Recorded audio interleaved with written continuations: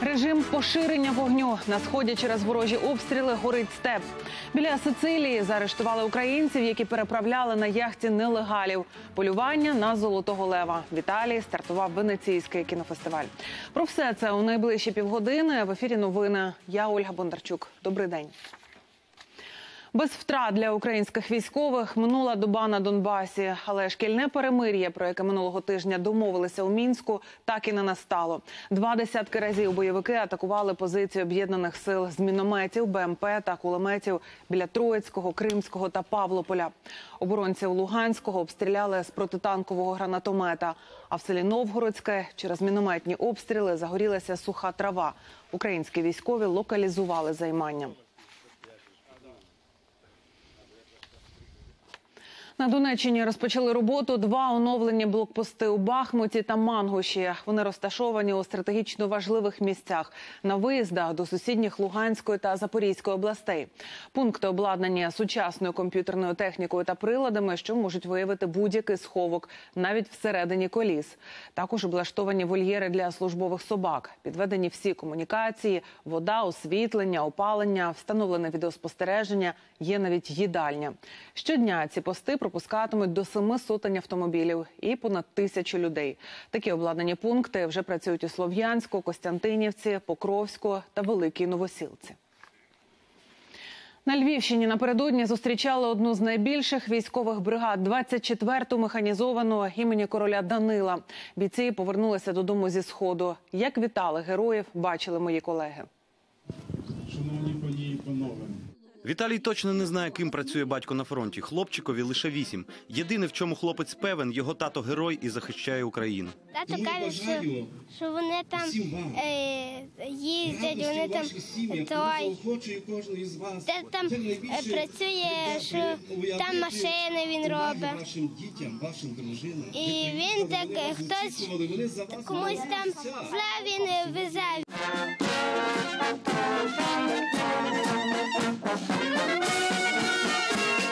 Упевненою ходою кілька сотень військових 24-ї механізованої бригади імені короля Данила крокують центральними вулицями Яворова, що неподалік Львова. У руках фотографії бойових побратимів, які не повернулися з війни, а таких близько сотні. гордість за нашу Україну, за наше українське військо, що вони молодці. І шкода, що багато портретів зі стрічками у них в руках. Тут майже в кожній сім'ї хтось із рідних військовий. Дехто чекає брата чи сина, дехто коханого. Та найбільше радіють поверненню діти. дуже сумують. Діти просто е, чекають, вони відчувають те, що тато далеко. Вони хвилюються просто. Батьків, які, яких учнів, яких я вчу, теж тому так знаєте, тривожно, радісно, що вони ті, що живі, приїхали додому, щасливі. Георгій із сестрою вже старшокласники. У шерензі видивляються не лише батька, а й маму. Іноді буває навіть плакати, плачеш, бо як позвонять і кажуть, що їх обстрілюєш. Вони стараються нам не говорити цього, як знаєте, як не як діти, щоб ми не переживали. Ну так, нас обстріл, ми біжимо в окоп і все. І це я жива. Тут в мене є орден Богдана Хмельницького. Я отримав його за участь у визволенні населеного пункту Слав'янськ. Е, Тут є в мене за мужність третього ступеня. Отримав теж за бої в 2014 році за визволення населених пунктів Закітне, Сіверськ. Сергій Третяк показує нагороди. Він наймолодший командир батальйону по всій Україні. Йому лише 26, а під його орудою вже кілька сотень вояків. В першу чергу, що за все своє життя, я думаю, я більш ніколи не побачу стільки в одному місці, стільки людей, які готові друг за друга віддати своє життя. У 24-й механізованій бригаді служить 4 тисячі військових з різних міст України – Сум, Житомира, Тернополя. У частині бійці пробули день і сьогодні роз'їжджаються по домівках. Андрій Кравець, Галина Якушка, Юрій Голубінка. Новини телеканал Інтер, Львівська область. Станом українського політв'язня Олега Сінцова стурбований генеральний секретар ООН Антоніо Гутереш. Про це повідомив прес-секретар генсека Стефан Дюжарік. Він зазначив, що Антоніо Гутереш обговорював ситуацію з російською владою. Олег Сінцов уже 109 днів голодує в колонії у місті Лабитнангі. Столична поліція затримала киянина, який взяв у заручники чотирьох власних дітей. Подружжя вночі посварилося, і чоловік побив дружину. Рятуючи, жінка втекла з дому. А кривдник замкнувся у помешканні разом із дітьми від 3 до 13 років і погрожував їм зброєю. Спершу патрульні намагалися домовитися з зловмисником. Він навіть відпустив старшу доньку, але потім силовики пішли на штурм. Чоловіка затримали, діти у безпеці. А на Миколаївщині правоохоронці штурмували будинок подружжя, яке торгувало опієм. За даними поліції, щомісячний заробіток ділків сягав 150 тисяч гривень. Під час обшуку у торгівців вилучили 250 грамів опію, ювелірні вироби, понад 60 тисяч гривень готівку і помпову рушницю. Подружню пару затримали, їм загрожує до 10 років ув'язнення.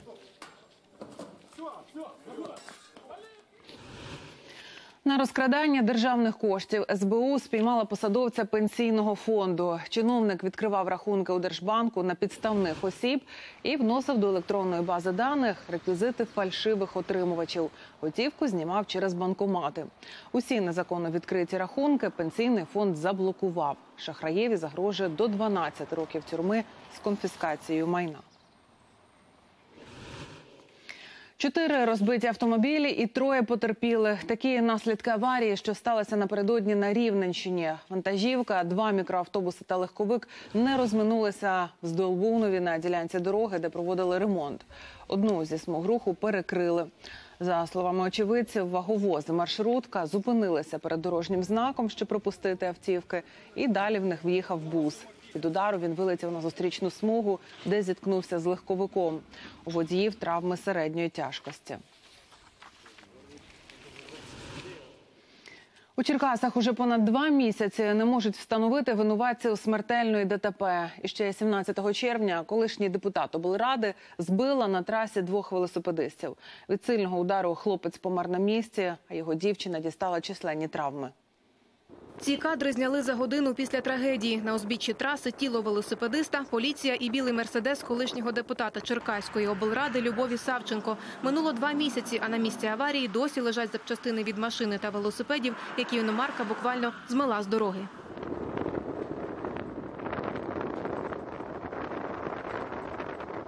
Аня дивом лишилася живою. Олексій їхав позаду неї, тож уся сила удару припала на нього. У дівчини лише численні забої. На місці, де загинув хлопець, рідні встановили імпровізований пам'ятник. Плакат кто-то порвал, может быть погода, может быть люди. На плакате было написано «Ваши діти теж на дорозі». Это Лешина сестра его рисовала. А здесь было написано «Закон один для всех». Те, що справедливості доведеться саме домагатися, Аня зрозуміла, дізнавшись, хто їх збив. Понад місяць їй не надавали статусу потерпілої, а коли надали, ознайомитися з матеріалами справи не дозволили. Что тут странного? Человек с деньгами. Наверное, так оно и должно все идти. Были бы у меня деньги, наверное, оно бы разворачивалось по-другому данное следствие. А так, так оно, наверное, и должно быть. Відразу після аварії адвокати екс-депутата Любові Савченко пропонували потерпілим гроші за відмову від претензій. Рідні Олексія на угоду не пішли. Відтоді ані Савченко, ані її представники на зв'язок не виходять. Спілкуватися з пресою сама бізнес-леді теж відмовляється. Это очень тяжело, это очень сложно, это очень... Я не буду встречаться ни с одним каналом, потому что мне нечего вам сказать. У поліції запевняють, справу розслідують об'єктивно. Підозри не оголошено поки нікому. Буде вирішуватися питання про вилучення підозри лише після того, як надійдуть до слідства результати експертизи. Щоправда, у поліції не приховують. Чекати цих результатів можна довго. Катерина Сривкова, Станіслав Кухарчук, Павло Тимошенко. Новини телеканал Інтер. Майже півмільйона пачок цигарок намагалися переправити морем з України до Ізраїлю. Контрабанду виявили прикордонники одеського загону. Товар був захований під туалетним папером. Його вартість щонайменше 15 мільйонів гривень. Відправник вантажу чернівецька фірма, яка спорядила його до Одеси. Осіб, причетних до контрабанди, наразі встановлюють. Відправником вантажу є чернівецька фірма, яка оформила вантаж на чернівецькій митниці та відправила його до Одеси для подальшої переправки морським шляхом до Ізраїлю. До 1 вересня в Україні не встигли надрукувати частину підручників, у тому числі і для першачків. І за це працівників інституту модернізації змісту освіти, відповідальних за друк, планують звільнити і влаштувати повторні конкурси на посади. Про таке напередодні заявила міністр освіти Лілія Гриневич. Книжки мали бути в школах до 1 вересня. Тепер же їх чекатимуть до жовтня. Усього планують надрукувати 18,5 мільйонів підручників. Електронні версії з усіх предметів можна знайти в інтернеті. Триває друк і починається розвезення підручників для першого класу до обласних баз. Десяті класи зараз друкуються і будуть розвезені в кожну школу лише в листопаді. Ми попереджали, що це буде в жовтні. Зараз на місяць сувається. Для затятих неплатників аліментів запровадили штрафи. Система санкцій набула чинності напередодні. Якщо заборгованість більше як за рік, додатково доведеться сплатити іще 20%. Якщо два роки 30, а три 50%. Перерахунок аліментів відбуватиметься автоматично.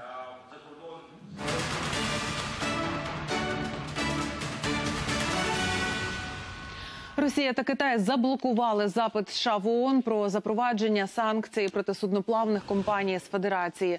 Вашингтон звинувачує їх у постачанні продукції Північній Кореї, що заборонено Організацією Об'єднаних Націй. Обмеження стосуються двох компаній і шести їхніх суден, які базуються у Владивостоці. Сполучені Штати запровадили санкції проти них раніше. Тепер просять зробити це і ООН.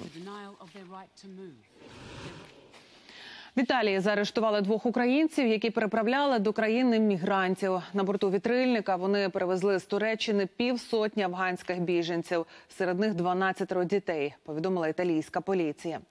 Човен виявили поблизу міста Ното на Сицилії. За даними МЗС України, загалом за переправлення нелегалів в Італії затримали вже близько сотні українців. В австралійському Мельбурні горить хімзавод. З вогнем бореться понад сотня пожежників. На підприємстві є балони з ацетоном і сумішю для газового зварювання. Вони підживлюють полум'я. Небо над Мельбурном затягнув токсичний дим. Люди зачинили вікна в будинках. Не працює частина шкіл. Причину займання встановлюють. Понад 63 тисячі людей виїхали зі своїх помешкань у М'янмі через прорив дамби. Після потужних дощів рівень води у водосховищі значно піднявся. Це й призвело до масштабної повені. Підтопило сусідні райони. Вода дісталася столиці. Наразі екстрені служби переправляють місцевих жителів до безпечної зони, а медики надають допомогу потерпілим.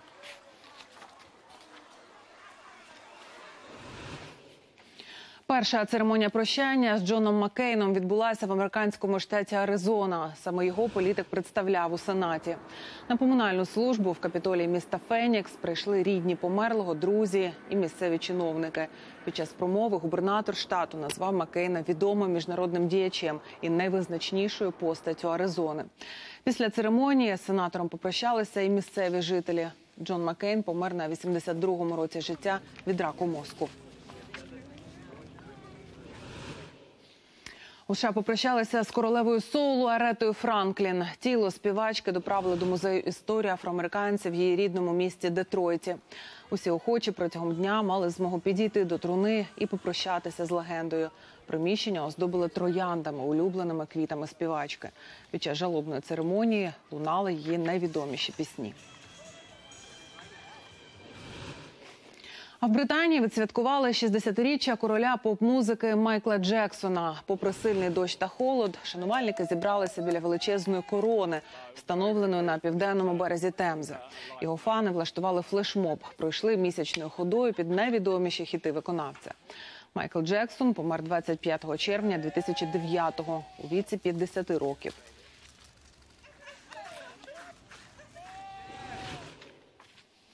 У Франції фермери вийшли на масові протести через небажання віддавати свої землі китайським підприємцям. Великі компанії з Піднебесною планують викупити понад півтори тисячі гектарів під посіви. Французькі аграрії переконані, що це завдасть їм чималих збитків, адже площі для вирощування власних овочів та фруктів поменшає. На Ла-Манші сталися сутички через морські гребінці. Французькі рибалки на човнах напали на британських, бо вважають, що ті збирають надто багато цих молюсків. А це вже розкрадання природних ресурсів. Подробиці баталії в нашому сюжеті.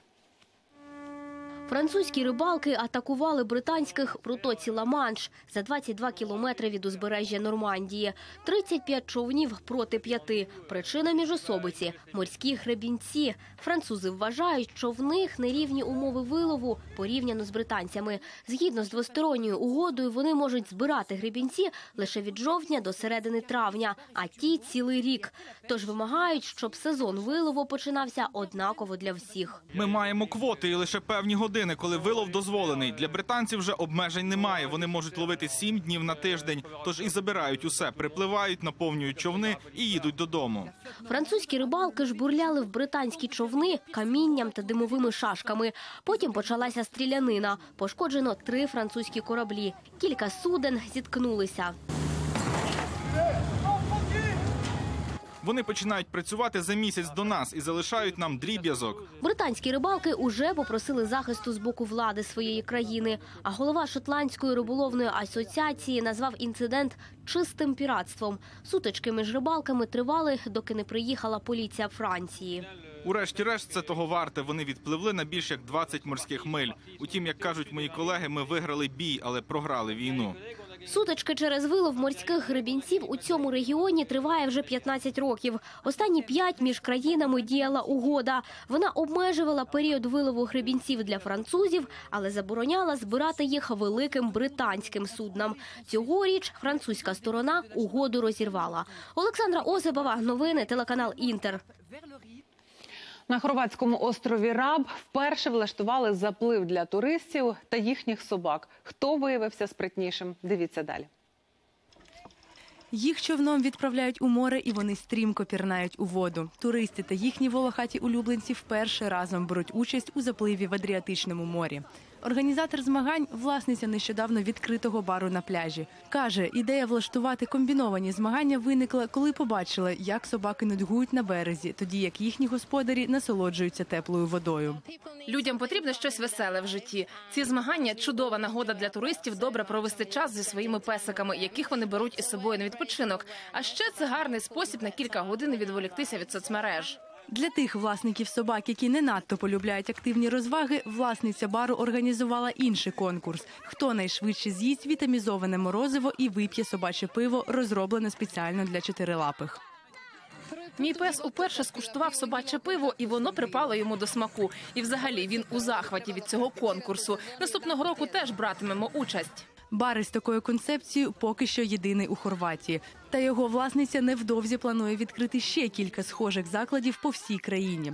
Сподівається, такі місця стануть принадою для туристів, які мандрують зі своїми улюбленцями, і допоможуть їм не нудьгувати на пляжах. Єлизавета Журавель, новини телеканал Інтер. Робота, який допомагає заснути, змайстрували німецькі інженери. Він схожий на подушку, і якщо його притиснути, під спокійну музику відтворює дихальні ритми людини. Тести показали, що користувачі цього винаходу у середньому засинають на 17 хвилин швидше. Коштує така подушка близько пів тисячі доларів. Найбільший в Латинській Америці сендвіч приготували в Мехіко. Його довжина 70 метрів. Мексиканський бутерброд торта готується з різноманітними начинками. Так само вирішили зробити і організатори заходу і створили страву, яка складається з шести десятків інгредієнтів. Кухарі використали тисячі шматків хліба, сотні літрів майонезу, овочі, м'ясо, спеції. За встановленням рекорду спостерігали сотні людей, найтерплячіші зрештою, і скуштували мегабутерброд. В Італії стартував венеційський кінофестиваль. На червоному хіднику напередодні перед камерами позували актори та журі конкурсу. Фестиваль відкрив фільм Перша людина з Райаном Гослінгом у головній ролі. Це біографічна кінострічка про політ Ніла Армстронга на місяць. В основній програмі конкурсу за головний приз Золотого лева змагатиметься 21 фільм. Переможця оголосять 9 вересня. Ми, судді, мабуть, перестанемо розмовляти одне з одним, бо цьогорічні фільми неймовірно сильні й насичені. Тож перед нами непросте завдання. Але я вірю, що ми, як акушери, дамо нове життя світу кіно. Венеційський фестиваль один із тих, який може змінити життя режисера, незалежно на якому етапі кар'єри він перебуває. Сходи до малазійських печер Бату в Куала-Лумпурі стали різнокольоровими. Фарбували їх 12 волонтерів. Працівники комплексу розповідають, так хотіли виділити пам'ятку з поміж інших і привабити туристів. Окрім сходів, різнобарвною стала і частина скульптур перед входом до печери. Однак перефарбування виявилось незаконним, бо попередньо його не погодили з національним департаментом спадщини. Триває перша в Україні одиночна експедиція Дніпром на надувній дошці. Мандрівник Антон Бондаренко стартував 14 серпня з Києва і на шляху до Одеси вже подолав половину відстані. Напередодні він пришвартувався до рідного берега у Запоріжжі, щоб перепочити. Я дома. Експедиція на сабборді триває вже два тижні. За плечима Антона з півсотні кілометрів. Та ще більше вражень. Каже, за цей час зустрів чимало добрих людей, які радо йому допомагали. По этим плитам э, очень скользко. Я бы не смог э, сюда причалить, если бы тут не этот человек. А как вас зовут, скажите, пожалуйста? Виктор, да? Не Антон? Не обійшлось у подорожі і без курйозів, каже Антон. Біля однієї з гідроелектростанцій його ледве не сприйняли за терориста. Когда вы выезжали, вы знаете, что к станции нельзя подъезжать близко? Ну теперь я буду знать, теперь извините. Так надо было узнать сначала, перед тем, как ехать. Врятувала мандрівника популярність. Прибежал охранник и сказал, что его видел по телевидению. И э, сразу моментально вопрос был решен. И те же самые охранники помогли с обносом плотины. Мандруючи Дніпром, Антон веде власний відеоблог. В інтернеті можна відстежувати, де ночує мандрівник та що спіймав у Дніпрі на вечерю. Был пост, да, Успенский пост, поэтому я как бы старался людей не кушать. Вот. А так кушаю. Ну, какой-то минимальный набор продуктов у меня изначально был. Какой-то плюс э, люди помогают. Своїм проєктом мандрівник хоче привернути увагу до проблем літніх людей та збирає кошти на медичну допомогу хворій пенсіонерці з рідного Запоріжжя. Для меня это, конечно, был такой вот при- пример ее стойкости, потому что вот он, человек всю жизнь болеет, и она вот все свои эти недуги как бы настолько стойко переносит, что является примером для нас многих ноющих по любому поводу. Попереду в Антона ще кілька сотень кілометрів та примхливе Каховське водосховище. Через сильний вітер там може здійнятися справжній шторм. Фінішує експедиція в Одесі. Дістатися туди Антон Бондаренко планує днів за 10. Сергій Бордюжа, Ігор Воробій. Новини телеканал Інтер. Запоріжжя. Ну а в нас попереду кілометри інформаційних стрічок. Усе найважливіше з них розповімо вам о 17.40. Легкого дня і до вечора.